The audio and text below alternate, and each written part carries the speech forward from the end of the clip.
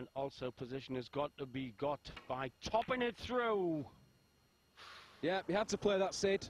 That was a shot to nothing, in effect. Davis's attempt. Davis going giraffe-necked with interest.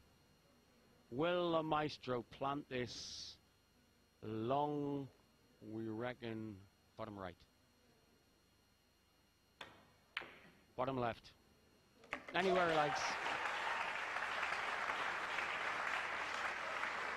Well, we couldn't quite see exactly how he was addressing that ball, but we both had a rough idea of how long he was prepared to take that bank shot. This for 7-5.